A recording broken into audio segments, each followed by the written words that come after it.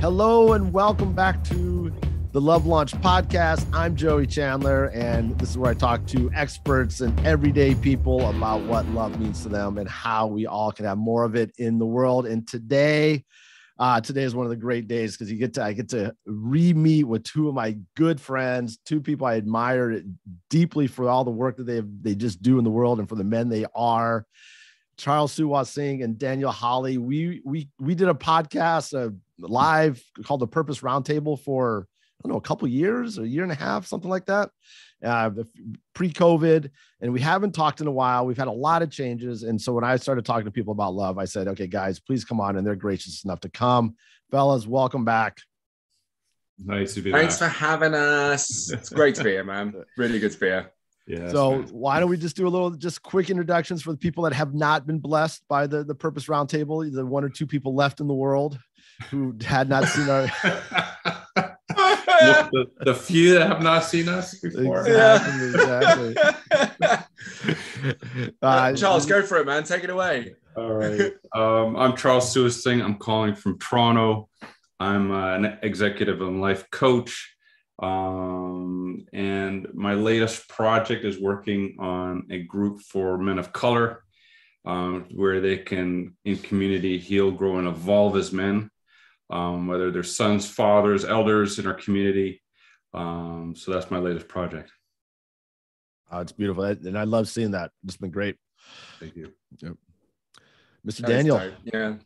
Oh gosh. So I mean, my my expertise have been in uh, primarily social cohesion work, and I've been consulting mostly with educational institutions here in the UK. For those of you out there, like you sound like you're from London. I'm from Bristol, and that's where I currently reside. And I, um, yeah, I've been working with educational institutions in this country for a couple of years, just helping them really connect with each other in the workplace in a more substantial and meaningful way um, and actually, in my day to day job, I support, mentor, and coach 16 to 25 year olds, uh, helping them figure themselves out as they go through the academic world, mm-hmm. which is, yeah, it's a really fascinating and rewarding role I get to play there. Uh, that's awesome. And you have a new a new project as well, right, Daniel? Yeah, yeah. I got a I got a seven and a half month old project um, who I don't I don't trip over when they stand up to stop them from trying to walk because it's too overwhelming. I don't do that. My dad called me a project. There's oh, more therapy bills. Them therapy bills. No, no, no. I've got, I've got, a, I've got a little one um, who is just the the greatest thing um, I I could have possibly imagined, and really timely actually that you know you've invited us on to talk about love because uh, it's really it's really real what they say. You know, you don't you do not know love uh, like you do when you have a child. It is something else, something else. My yeah. God. Well, why don't you talk so, about yeah. that? Talk a little bit about what maybe what love was for you pre-child and what differences you see now. Okay, so uh, I, I mean, I think I think for one, there wasn't there wasn't the the same urgency um i'd say i think i think my my experience of love heightened when i when i had my little one his name's ezekiel so i'll just i'll just call him that um and uh yeah it, it, there was a period of time actually let me go further further back. There was a period of time where i saw love as a thing you just you did right? And that was it purely like love is an action. And i think some of us probably familiar with that already. It's something you do you know it's an act of love it's a verb if you like. And so to me it was very much this thing that you put into someone or into something a labor of love you know the secret recipe is love and so i went about my life you know perceiving it that way. Um, and then it was it started off when i met my partner. You guys obviously know know my partner. And was heightened when my little one arrived was the change in how I saw love and actually how I saw it as this this other level which to me actually was more a case of it's not just about the doing it's about the seeing. And I realized this light bulb went on in my head. I I want I want nothing but the the best obviously for my kid. And I think you know I don't know any parent who doesn't. But it was asking what what is the best for my kid? You know it's not it's not going to be constantly buying them things necessarily. It's not going to be giving them the things that i didn't have necessarily. And uh, and it's not that this is the process i went through. I just jumped to it. It's going well what do they want how, how do they want to experience the world? How do they want to experience themselves? Right? And obviously as an infant that's going to be a really hard thing to to really get great you can't sit there while you're trying to change their nappy after they've done a number two being like so how do you want to experience this nappy change? Like tell me walk me through it. You know that's not let me happen. tell you i think he's got his notebook open. Yeah. I credit a list for you dad. But it, me and my partner me and my partner aligned really nicely on this this thing of our our kid technically already has a, a purpose. They've already got this persona. They've got this personality. Let's make space for our little one to discover that for themselves. So let's build a safe environment. Let's build an open environment. Let's be as facilitating as possible to allow him to be as much himself as he wants to be. Right. And that's when I realized that love is not just about an act of doing something for someone, to me, it's also the process of seeing someone for the way that they want to be seen, regardless of whether or not they see that as well. So we say, almost say, say say that again. Say that again. I didn't quite understand. So yeah, so for, for me, it wasn't it wasn't just about the act of love. It's about seeing someone in the way that they want to be seen, even if they're not aware of that themselves. Mhm. Okay. So Okay. we have we all have our blind spots, right? Yeah. My part my partner is an Mhm. absolute diamond at this. She's phenomenal at this. She is able to do things and she doesn't need to do it explicitly or or you know overtly. She just does little things that are acts of love towards me that I Mm. recognize mean something to me that I wasn't aware I, I was asking for or needed, but she just does it because she sees me in the blind spots that I don't see myself. And she lives into those spaces Mm. actively. And to me, that is, it became like this thing of like, that's exactly for me how I see love in a, in a greater way and what my young one helped me see.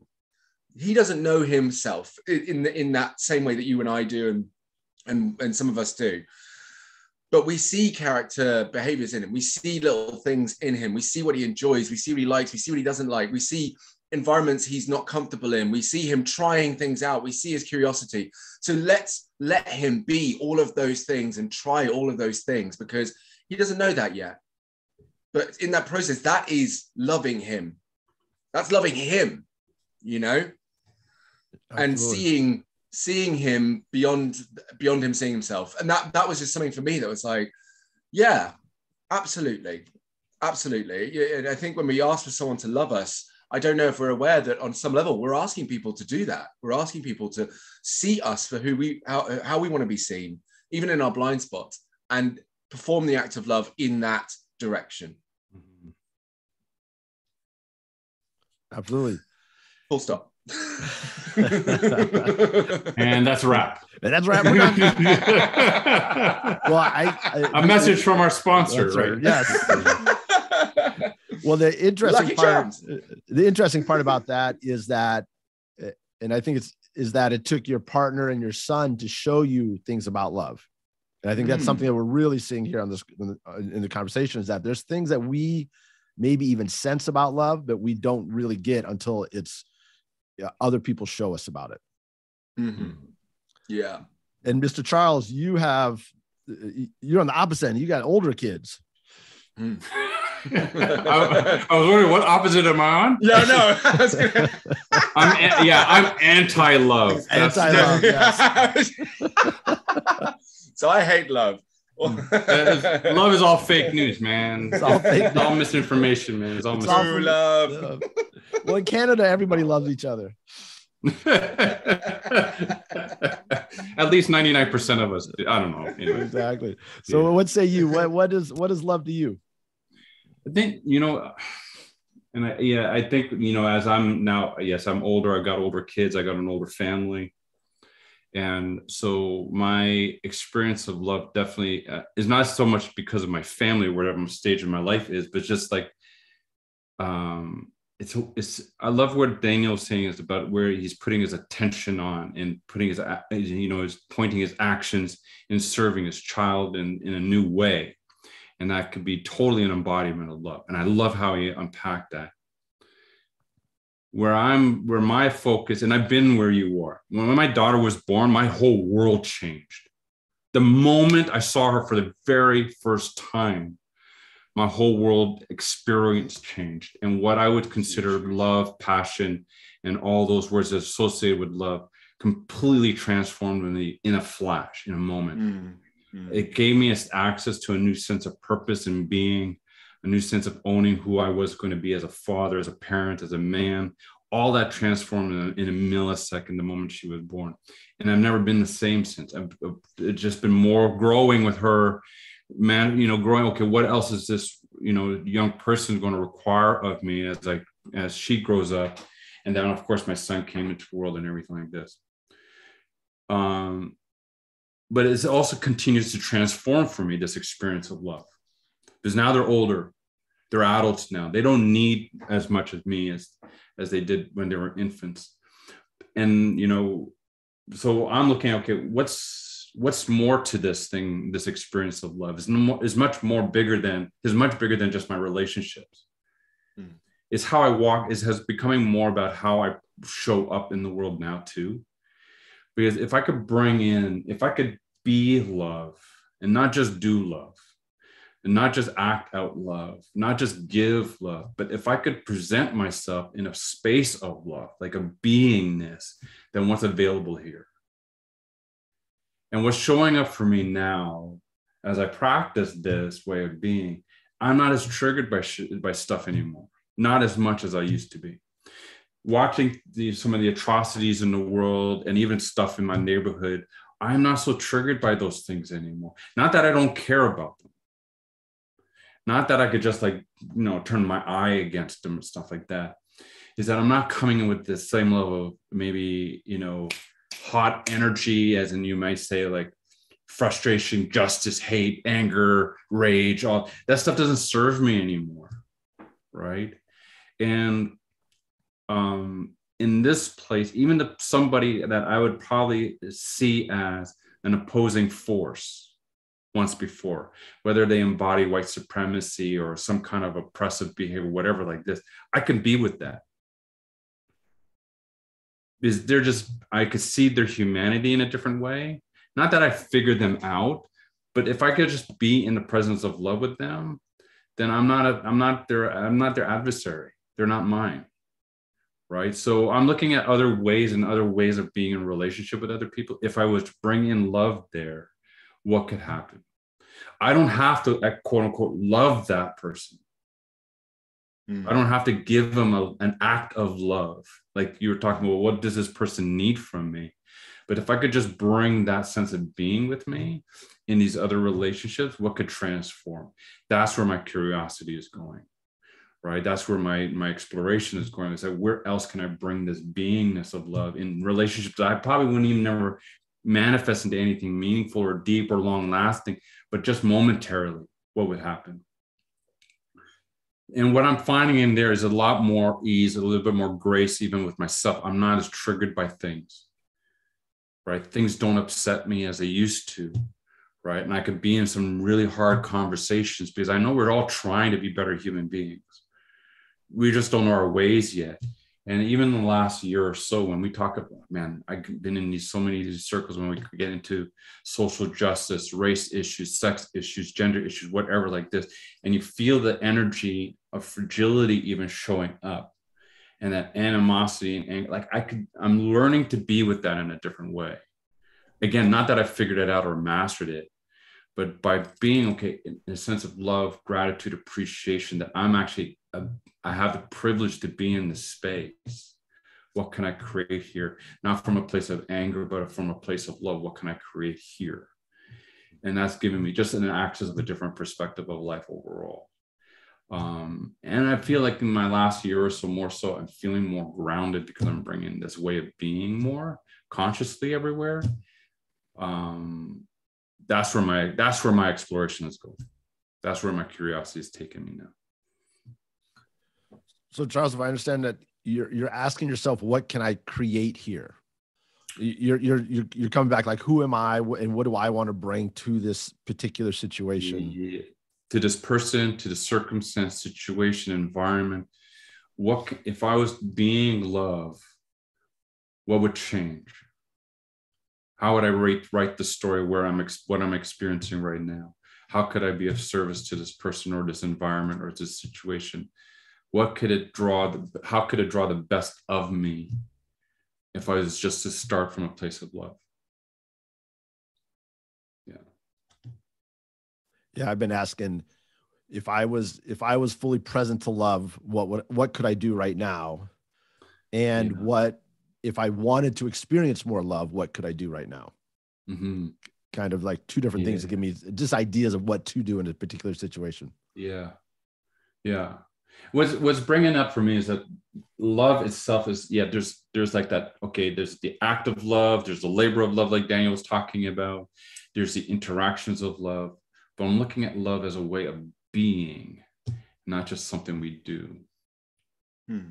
right yeah and i think the conversation around like what does love mean to each of us allows a little bit for that space to show up because mm-hmm. what i'm finding is that we all we can pretty much guarantee that we have a different definition of what love is. Yeah. Mm. Almost yeah. 100%. Like there's some people yeah. that overlap, but so far, every person I've talked to has had a really interesting but mm. different mm-hmm. definition of, mm-hmm. of, of love. Yeah. Which one's your favorite so far? Who wins? oh, this eh, it, it, actually wasn't on the podcast. No, you'll love this. It wasn't on the podcast. It was actually at a dinner party. It was at a dinner party this weekend and we're going yeah. around, and at some point, I bring up the conversation. Well, what does love mean to you? And this guy said, spirals and gravity. And I was like, what are you talking about? And he, are you going to invite me to more of these parties, Jerry? Yeah. And he said, you know, it was so beautiful. He said, um, he said, like, look, in the universe, we're all held by gravity and we're basically spiraling around each other. If you look at universes and planets and yeah. people are spiraling around, and love is that gravity that has us stay connected. And yes. sometimes it gets frayed and we spin apart and kind of spin out yes. of control. And other times it gets too close and it, we kind of end up colliding. But it's this whole mm. sense of, and we're always constantly spiraling and I was like, "Oh man, that's beautiful." And that was just that was over a glass yeah. of wine in between, you know, a, an amazing meal. Mm-hmm, mm-hmm. Yeah, I, I, you know what I love that that's metaphor. Awesome. It, it, it, I love yeah. that metaphor because it, it's it kind of fits in what I was saying. It's the space between us. Mm. But when you're tuned, when you're not tuned into it, it's easy to be reactive. But when you're tuned into that space, mm. yeah, there's a lot of awesome things going to manifest out of that. Mm-hmm we're not just running into each other, but actually we're actually kind of dancing with each other in a way. Yeah. And how are you guys helping yourself experience love? You got a lot going on. You're doing this stuff for other people. Uh, you know, Dan's got you know kid. Charles, you're starting new projects. What are you doing to help yourself experience that love? Because I think we have to love ourselves first, so that we can also share it with other people. That is such a timely question right now for me. Um, there's a there's there's like there's so much more that I I don't want to talk about publicly that I'm experiencing the moment that has actually taken uh, that opportunity for me to really think about that for myself like away it's been very uh kind of 200 miles an hour over here so I I I, it, this is this. I don't know how how this is going to be received actually, but for me, one thing I, I realized is I I love my escapism. I think for some reason, if I'm able to put myself in a position where I'm looking at reality third party, it becomes a hell of a lot easier for me to process everything going on. And it, it, it's a there's a it's I don't want to call it disassociation so much because it's not like I completely dissociate from myself. I think what I do is I go, I'm I'm not here for an, a period of time. I, I I've checked out. and I've gone I've gone elsewhere, and it's not meditation at all. It's just I've disappeared. I'm not here.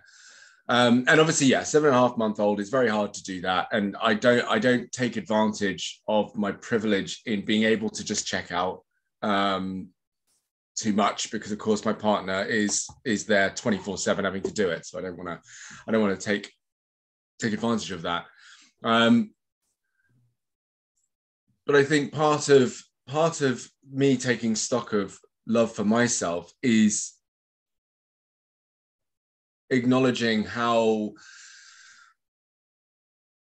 I think both significant and just insurmountably insignificant I am all at the same time. Which brings me to this really strange place of grounding myself, actually. Um, I do value, of course, I value myself massively, and I love love who I am and who I'm trying to be and who I'm trying to grow to be, and so on. Um, but it's also making sure that that doesn't then take precedent over how I interact with people. Uh, you know, putting my putting making myself more important than the people around me. Um, and this, yeah, it's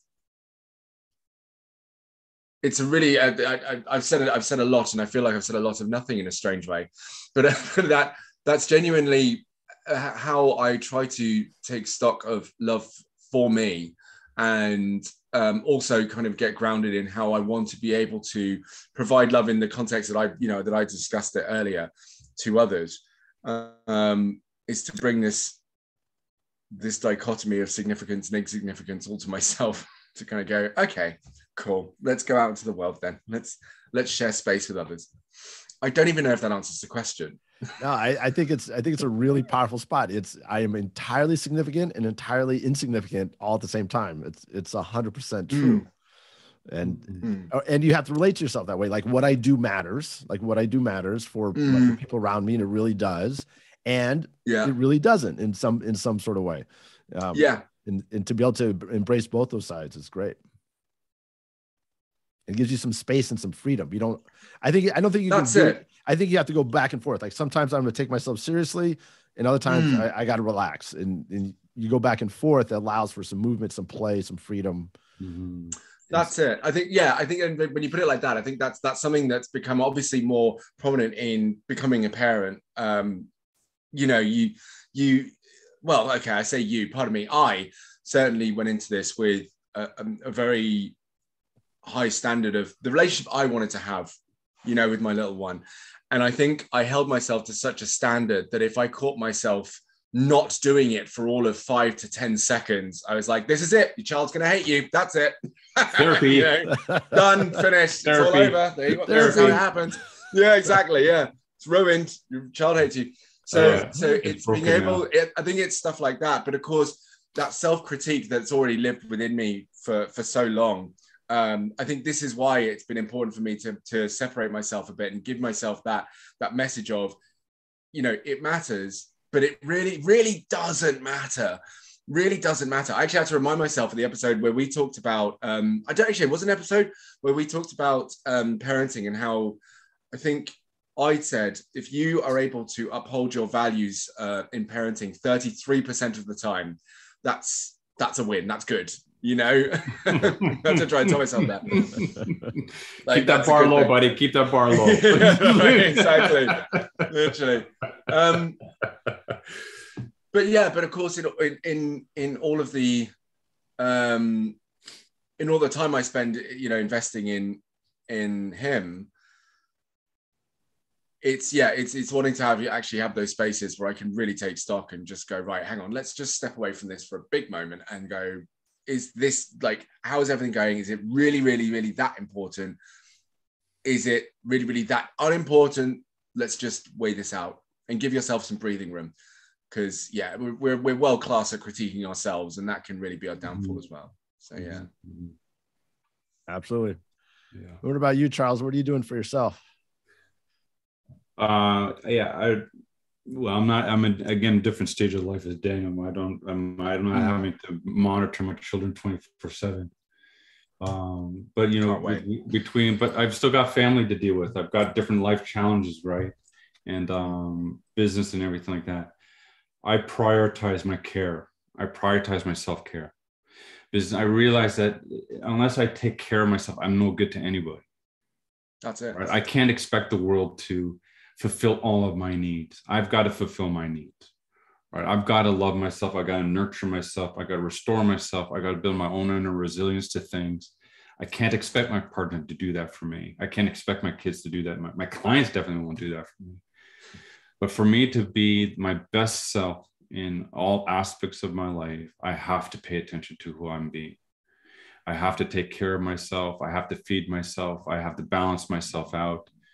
I have to do what interests me, feed my passions and whatnot.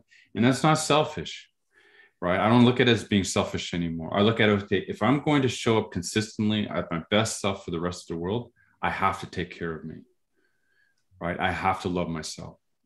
I have to create, be that space that we're talking about with love. I have to create that for me right? Um, or else, how am I going to actually manifest that out anywhere else? I won't be able to, right? So, my perspective right now is that it's not that my love for myself is more important than the, the love I give to my. That's not what I'm talking about. What I'm saying, in order for me to love my family, I need to love myself, right? One fuels the other, and vice versa, right? So, yeah. So yeah, I do. I do take care of my health. I do take care of my sleep. I meditate um, I journal, I get hooked on a Netflix series every once in a while, or you know what I mean? Mm-hmm. So um, whatever it does just to create peace of mind for me, I do that because that's me taking care of my that's take me taking care of me.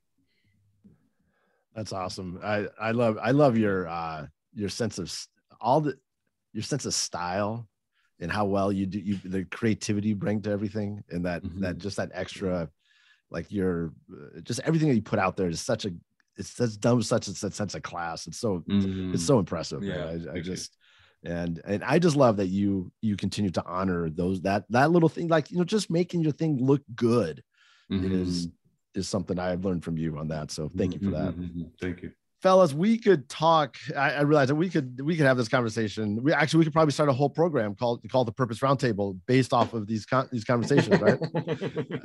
We could. That's a great idea that's joey. great idea. we didn't think that's of that. really good no why didn't we think of that before that's a really good idea. This guy I, I, I, do want to say always like, thinking yeah well when we did start the purpose roundtable and we were talking race racism sexism and you know we were just we were diving deep into stuff it was a really fun mm. conversation like three three guys having these yeah. conversations different countries different backgrounds and mm-hmm. I, I, think that was good and I, I think the same thing could be applied to love like if more if more people and more guys talked about what love means to them not trying to prove what love is but really just exploring what it means to us personally i think that would be a good thing mm. 100% that's it. But we're going to wrap it up here so we can uh, uh, basically help out all the listeners. We always end with three questions. The first question is, is what is a favorite book, movie, song that inspires love or romance for you? Okay, I'm, I'm going to take it away um, because I'm far more comfortable answering this question than someone else is. So- hey, he just he's, he's, he threw in song. I could probably find a song. No worries oh, I love it. So um, the first thing that jumped into my head was Moulin Rouge straight away, and I know that's that there's two actually. So I'm going to cheat. Moulin Rouge and then Eternal Sunshine of the Spotless Mind. Um, they both they both got to me. I think for one, they both I both saw them at very poignant times in my life. Moulin Rouge, um, the poignancy was that um, I was Dan. I was being Dan at the time. Um, but Eternal Sunshine, I had actually gone through a really difficult breakup. So I think that that spoke to me in a way I wasn't ready for it to speak to me. And I still watch it, um, you know, more recently, and it still lands. And for one, Moulin Rouge, interestingly, you know, I, I, thought about it. And of course, what you said earlier, Joey, about the spiraling and the, the gravity putting it all together and stuff like that. I was like, well, it's it's a musical for one. A, it's a fan, to me, it's a fantastic, you know, musical great songs, really well well put together. Um, and it's always the gut punch, um, where the I think it's the fragility of love that ultimately comes out of that film that um, that I think is is so powerful. um, the the hard work that goes into it, and you know the the extravagance of it. And I think that's what it is about the film. It's so it's so big, it's so loud, it's so large and colorful, and you know it represents all of those wonderful feelings in a film of what love to me feels like. But at the same time, it's the it's the this the fragility, the total ease at which you can just boom and how deeply that cuts. I really love that film, but but I, I, honestly I love it, and it really it really gets. It, it, there is not a time I can watch it. The beautiful thing is when I when I met my partner, um, she she still is like really really strong strong powerful powerful woman. Um, really really holds her own insanely well, um, and so when we when we were dating. Uh, yeah, she she did play that role really nicely, you know. And I was like, oh, let's watch let's watch a film, let's watch a film together. And we watched Moulin Rouge, and it broke her. And she she hated me because she was like, you're not you're not supposed to see me cry at this stage in our relationship. This isn't okay. But it actually opened up the doors to the vulnerability and the compassion that she always had. I hadn't seen it before, and I didn't think she was cold hearted. I was just like, I didn't realize you cared this much this is amazing. Called her. I, didn't, I didn't think she was just like, you know, Cruella de Vil. I, just, I, just, I hadn't seen, I hadn't seen that side of her. So yeah, so the gut punch in that film gut punched her, and it, it, I think it gave her permission to be vulnerable in front of me, and and then we we entered a new level of our relationship, and that's what that film did um, for us. And then Eternal Sunshine of the Spotless Mind is again, you could almost see it as like a very strange uh, sequel, not really, but the loss, the loss of love, mm-hmm. how much it means to us, how, mm-hmm. again, how mm-hmm. Desperately we hold on to that sensation, that feeling, that, um, that experience, no matter whether it was even good for us or not, or what, what you know, what we mm. thought was good for us. Mm-hmm. Um, and I think that's always, that's always so, so hard because of course throughout the film spoiler alert but i mean you should have watched it already listener. What are you doing? Homework. Get on go and watch it. Get on with it. Come on read go, it watch go, it. let's go. It's out there. Let's Netflix. go let's go. Um, um, is that as it, it's as the the memory of his old his old partner fades his his his desire to still feel it actually grows. So it's not it, it's clear that well and again this is my interpretation. It's so clear that he's not chasing her. He's chasing the feeling of love that he got with her right and and of course it, it's it gets so so incredibly desperate so deep so dark it cuts hard and and, and deep and and again i think that's why it was a, a really really powerful film for me at the time because that's actually exactly what i was going through at that time when i watched it um, and it was really hard to watch because, yeah, I was like, I know that eventually I'm going to lose sight of what this person looked like to me, who this person, not who this person was, but yeah, what they looked like to me and and all this stuff. I'm actually losing how I felt with them at the time. And that was great. And that's what hurts. Mm-hmm. Um, and again, yeah, no, another reflection, I think, of, of the, the, the power that love can give us, and and again how how um how fragile it is. Mm-hmm. So those are the those that I cheated. Those two. Go and watch okay. them. Put them on your list. Do it now. Turn this off. Go and watch the films. Don't worry about it. You, thank me later. Charles, you? Well, I was going through the list of Marvel Universe movies. And I said, okay, what was the last one I watched? Was Black Widow? No, that was not much a lot of love in that one. No, but as you were sharing Eternal Sunshine, my first thought was Lost in Translation. Oh, yeah. right, which was a fantastic movie. I don't know, that's got to be about twenty years ago now. Mm. Um, and what was what came alive for me in that movie is that love is aliveness we get so lost in the details and the minutia and the status quo and all the nonsense in our life of what mm-hmm. success looks like of what fulfill of what you know you know um, achievement is and all these other things um, that we lose sight of what is it is to be alive and you see these two characters circling around each other yes, there was an attraction in there, but what they were really longing for was aliveness in their in their world. What they really wanted to was reconnect with what really inspired and moved them, and and um, where they found joy and meaning and purpose. And they saw, and each other saw that in the other, and was able to co-create that in a moment. Um and that's what i yeah that's what i learned from that movie there was that you know love for me is is aliveness. It's how it's is what fuels you what drives you motivates you is what inspires you. And if you can share that with someone bonus. Mm. right? So. Yeah i just watched uh, a hundred i came up with something mr dan. Well you, you, did have 40, you did have 45 minutes while Dan went on his his, his yeah no blah blah blah oh, more Moulin Rouge blah blah yeah. blah. Dan likes musicals. Blah blah blah. I tap dance in the shower at night but my kid ain't watching. Uh, and for and for all the listeners this is a long time uh, a, a, long time joke. These are these are yeah. Uh, I just watched a, a hundred steps. It says These guys are. Is this how your show always ends? no. okay, we're gonna. So here's the, the second question that I end with. Well, there's two more. there's two more. Two more. Oh, the, second, damn, the second question that I end with is what um who is it that if you could have a conversation with and talk to them about what love means to them, who would you like to talk to? Bob Marley. Oh, my son came home. He's like, Dad, we're studying Bob Marley in school. Do you know about Bob Marley? He was so excited. It was amazing. Why, why, Charles? Why Bob Marley? I don't know. There's there's just there's just a way he embodies that love for humanity and self and spirit and wholeness. It's rare to see that in a human being. It's rare to see that in an artist, right? To see that just genuine love for people. And I think he embodied that personally I think he embodied that in his music and his craft. And um, it would it's so sad that he left us so early. Um, but um, it, the music that he's left there for for me has left an impression that I yeah I, that will never shake.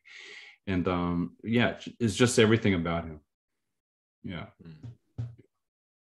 Absolutely. That's beautiful.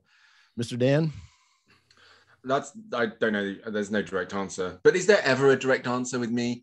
So I, am going to say I'm actually going to say because I've not really given myself enough time to think about this. Um, I'm going to say that guy you had dinner with, Joey. Oh, I want to hear more from from that perspective. Okay. Yeah.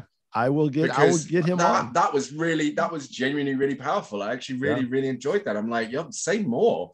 Give me more of that. Um, yeah, that that genuinely is my answer. I'm going to leave okay. it there because we all awesome. got time we need to spend. I love it. I love it. You know, I think one thing that really um, he's he's also he's a fashion photographer, and I think mm. one thing that it maybe speaks to is the fact that he told a vi- it's a visual story. Right. He described mm. love in something that we yeah. can all see, and that was really powerful in terms of the storytelling. I think that was. Um, I know it was for me. Nice. So awesome. And uh, so before we get to the last question, how can folks get in touch with you, work with you, all that kind of stuff? Or can they? So, I mean, you can you can email me easily at daniel.holley at hotmail.co.uk. That's that's that's literally the email address I use. It's not anything fancy. I don't have my own daniel.holley at immersive social cohesion experience hyphen getyourlife.com. It's none of that. yeah, that's a self promo right there. no, man, you, you, you, just I'm me, man. Every but, time, every. But you're also Dan. Place. You're also you're so, also big on TikTok and Instagram, correct? I am. Yeah, yeah. I'm actually. Yeah. I, I don't know if big on if big on Tik. I don't know what big on TikTok is. I got I got 70 70k followers, so that feels nice. So on TikTok, I'm at the only other Dan. You can follow me over there for sure. Instagram, um, I'm at Big Daddy Dan H, and it's different, different handle only because I started getting a little bit of heat from TikTok trolls. So I was like, oh no, I'm gonna have to change my handle over to Instagram. Um, but I'm primarily on TikTok. So if you want to follow me there, by all means do. Um, Instagram, you'll get maybe a post a week. and the baby pictures. Yeah, I know. I don't even post baby pic. You ain't gonna see my kid up there, man. Don't post pictures of my kid, so you ain't gonna see him either. His mom has something to say about that. exactly. yeah, that's how you get in touch with me. Uh, yeah, awesome. you can find me on suewahsing.com. Straight up, easy. Yeah, mm-hmm. and we'll have all this in the in the links in the yeah. in the bio and stuff. And yeah. Charles, who are you working with these days? Who's your main client? Oh wait, oh no. Clients um, are executives now. I work with some individuals. I work with some uh, young men and women, and emerging, particularly emerging Black leaders, men and women who are sort of finding way up in the corporate world. Um, like I said too earlier, I think was um, I've launched a group for men of color recently. Um, so working with men of a variety of ages and lived experiences and whatnot, um, creating a space for them to uh, heal, grow, and evolve together. That's awesome. That's dope, man. That's awesome. So my last question is, is because I always want people thinking about and exploring the idea of what love means to them and learning from that. And I'm curious, what did you guys get out of this conversation?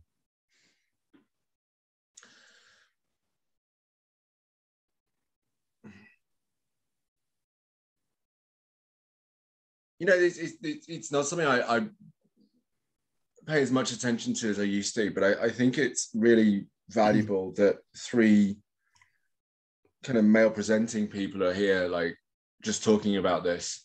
Um, I, I, I, and I think this is only a reflection of how I'm experiencing, you know, my space uh, at the moment. Um, and certainly in, in kind of the space I work in day to day, there's a lot of, I think there's a lot of misguided masculinity that I've been put in front of that is still very much wanting to not be vulnerable or you know afraid to be vulnerable or pushed into not not being allowed to be vulnerable. Um and it is it, it has been sad because you you experience the mental health challenges that come with that the, the, the, restrictions they impose upon themselves because of what they've learned about what they feel they're supposed to be and what they're socialized to be and of course the representation then of um, maleness, masculinity to femininity in women as well, and and then how it presents itself. So actually, I've just really enjoyed having this conversation with you guys. I've really missed you guys, like with the with these those candid, open conversations, knowing that we can be vulnerable with each other, and and obviously remembering that, yeah, it ain't all like that obviously when you do a day-to-day job and you experience the same thing over and over again sometimes you can get lost in the source and you you you, kind of what's the word? I'm, i make it globalize this this this microcosm you've got here. Um, so actually it's been really really great being able to just talk to two other people um, and just go you know what? Yeah. Hey guess what? We can talk about love. I mean obviously we might not be able to talk about love in film movies and books because some of us have our challenges in that but we're working through it. Everyone's on a different journey, and uh, yes. but, but no, no, seriously, no, that's what I've got, man, and it's it's dope. I think I think stuff like this is really it's really um empowering, liberating, uh, and fulfilling.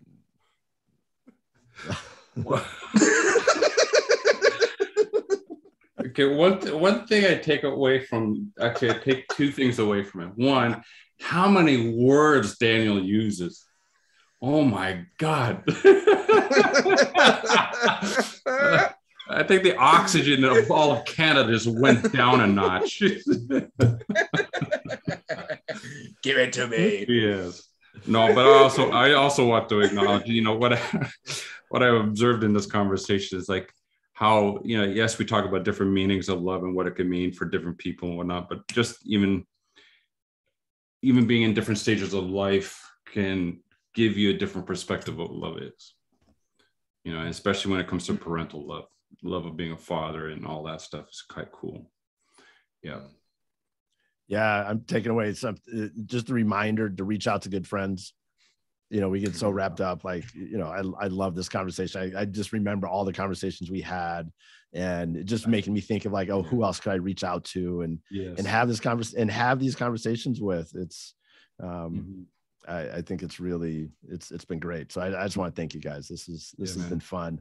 Um some- definitely definitely have to do it again and it, it's it's all the listeners who are like what are these guys doing this is literally just like three guys that haven't talked together in a long time and having Yeah, fun Seriously, Yeah. seriously. Yeah. so uh any last words before we wrap up No, well, you thank you for doing this. Thank you for doing this. Miss you guys. Yeah, thank you. So, everyone, please think about what love means to you. Talk to your people because the more that we can all talk about what love means to us, I say the greater chance that we have of actually having love in our lives and having great friendships, being great parents, and whatever way that love shows up. So, thank you. We'll see you next time on the Love Launch podcast. You have a wonderful day, and I'll talk to you later. Bye, everybody. Peace.